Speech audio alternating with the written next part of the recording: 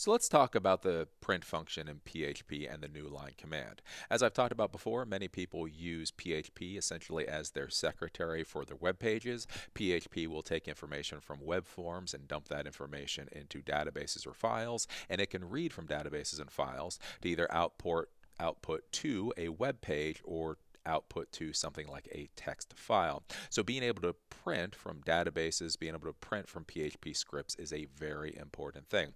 Now it is important to understand when you print, you have to be thinking about what you're printing to and what the user interface is for the person that's going to be consuming the content that you're presenting. So if you're uh, printing out a report, if you open up a file in a text editor, it is going to look different than if you open up a file in a web browser.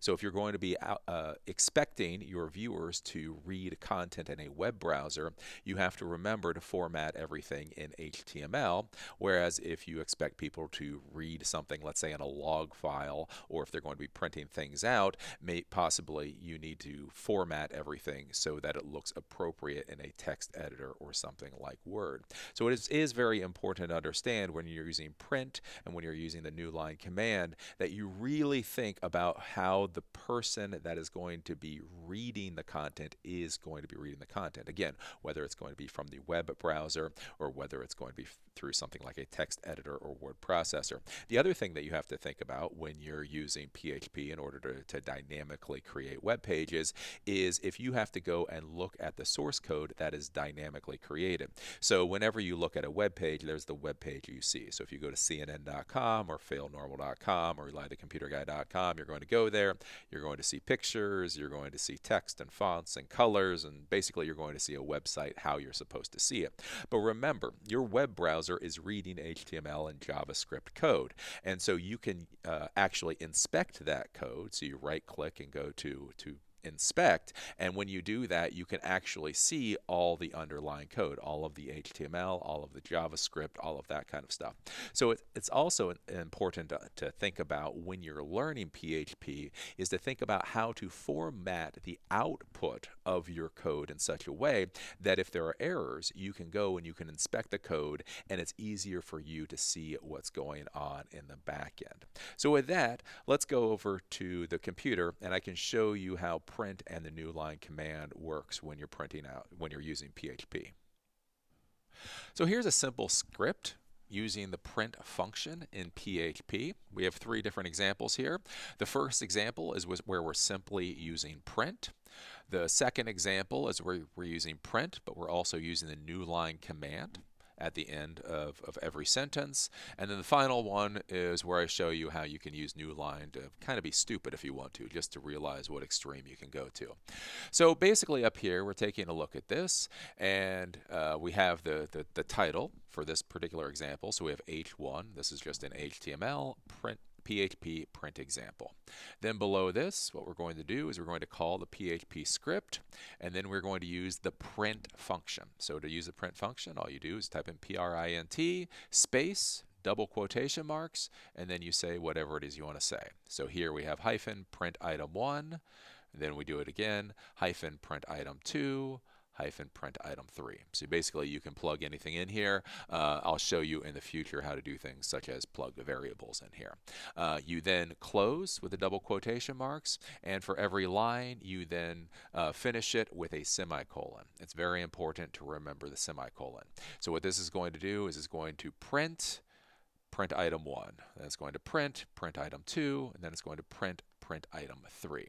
And so it's important to, when you take a look at this with how this is on the page, how I wrote this code, you want to think about how you think this is going to be printed out, both in HTML in, and in text. We'll show you the example in a minute once I go through the other code that we have here. We then come down here for this particular page. We have H1, PHP print with the new line command example. And so again, we call PHP then we're going to do print. This is identical to what we have up here, only at the end of each sentence, before this, the, uh, the quotation marks, I did backslash n.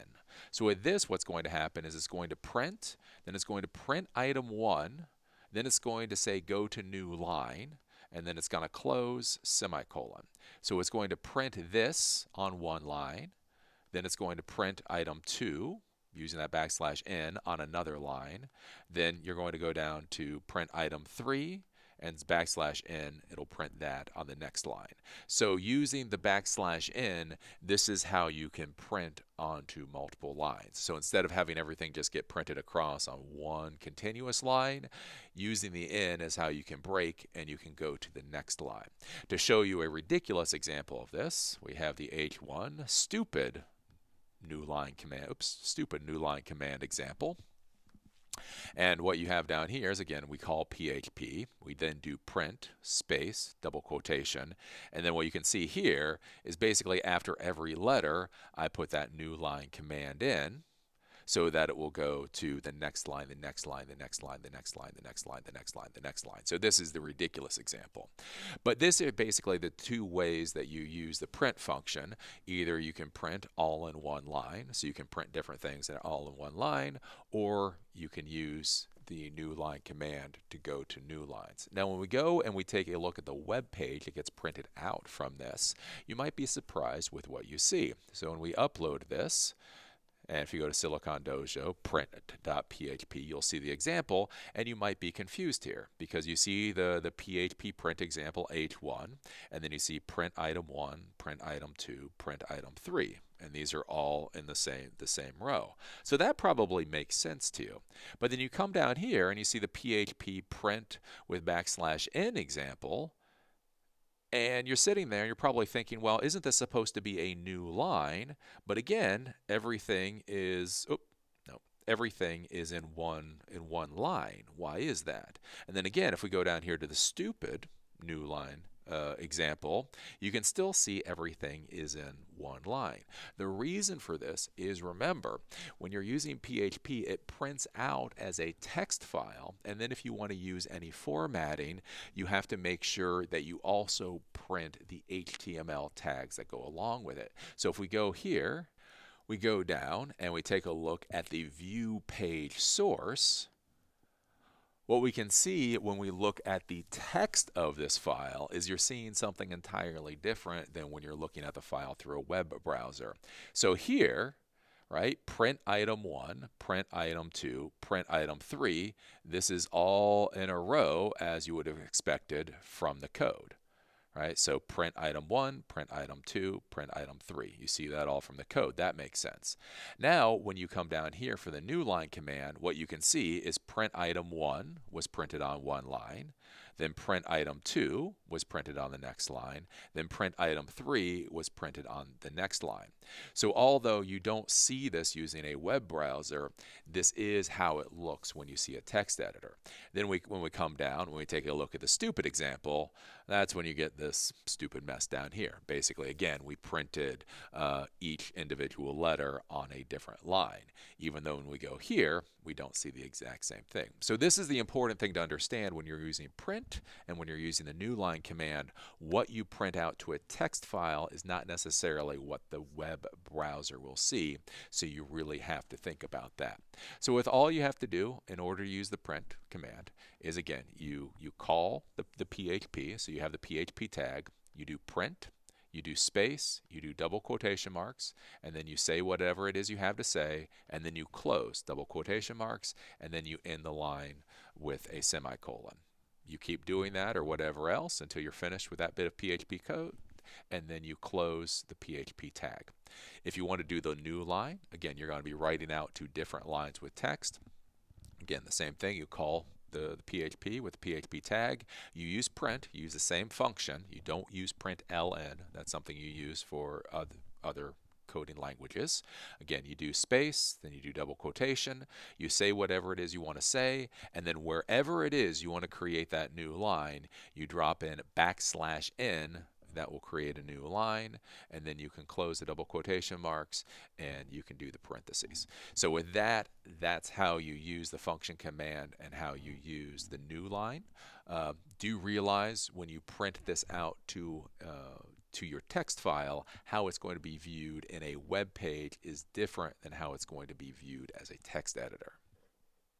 So that's all there is to using the print function in PHP and the new line command. You just do print space double quotation marks, say whatever it is you want to say, close double quotation marks, and then do semicolon. If you want to put a new line within the print function, you just do backslash n wherever you want that new line, and then it will print everything out in the text file as the basic text. It is important to remember, though, when you're outputting using PHP, you have to think about how your users or how your viewers are going to be consuming the information. Are they going to be consuming it with a web browser, or are they going to be consuming it with a text editor or word processor? That will determine whether or not you're going to be adding in additional HTML tags or whether you strip them out. So this is an important thing to be thinking about. It's important to think not, like how somebody is consuming the information and what user interface they're, they're using to consume the information for thinking about how you're going to be writing the code. The other thing that's important, especially using the new line command, is when you're beginning to write code, it can be very confusing to figure out where your problems are. So when you look at something on an HTML web page uh, and you see an error somewhere, if you then go to the source code and, and you look at the source and all you have is one big block of 30 lines uh, of source and everything's mixed in, it may be very difficult to troubleshoot and figure out where the problems are. So if you if you code your PHP script in such a way that that it outputs a source that's easy to read, that will make your life a lot easier, especially in the beginning when you're trying to troubleshoot your code. Again, when you start adding functions, when you start doing things that are more complicated, it, if all you have is one big block of source that gets outputted by PHP, that can be very confusing to look at. If you have something that's formatted relatively uh, decently, you can go in, and you can say, oh, okay, this is the section where I know I'm having a problem. Oh, I see I did something wrong there. I forgot to put a semicolon or whatever there. I see that's what the issue is. So that's how you use the print function and the new line command and why it matters.